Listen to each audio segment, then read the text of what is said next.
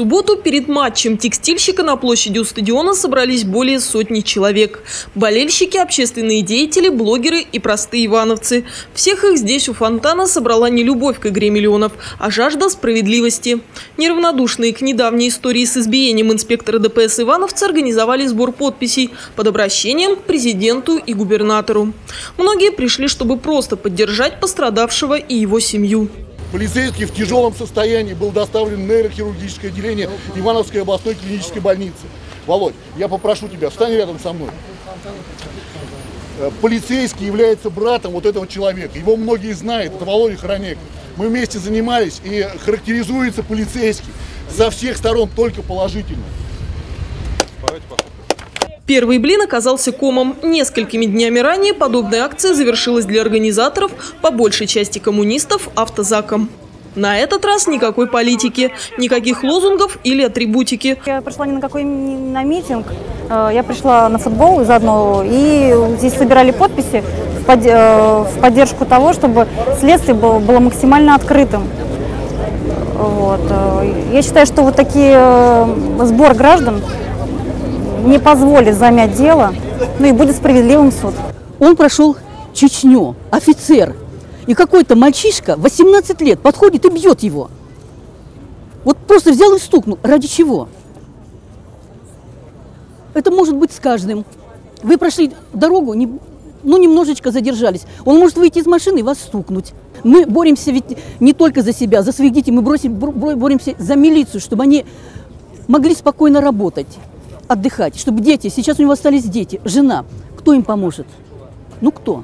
Однако сбор подписей попытались сорвать те, в чью защиту он был организован. Буквально через 15 минут после начала акции многочисленные участники услышали обращение полицейских. Граждане, будьте добропорядочными. Просьба освободить площадь.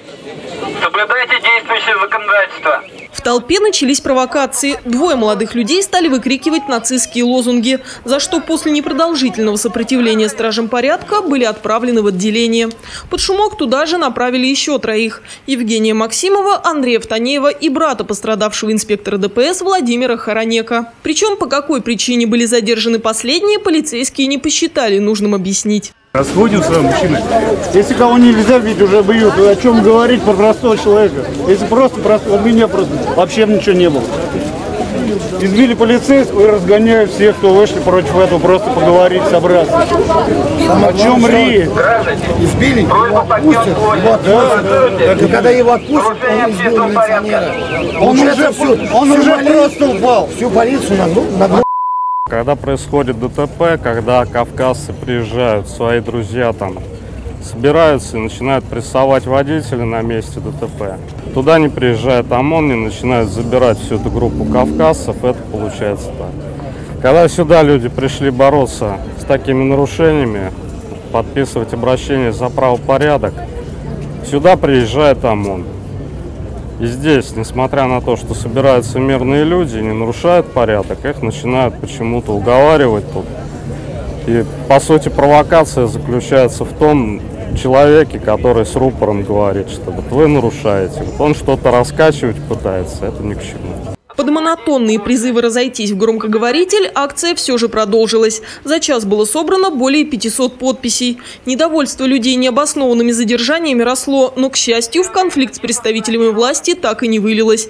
В конечном счете цель мероприятия не разжечь конфликт, а разрешить его единственно законным способом. Наталья Романова, Андрей Семиволков, РТВ Иванова.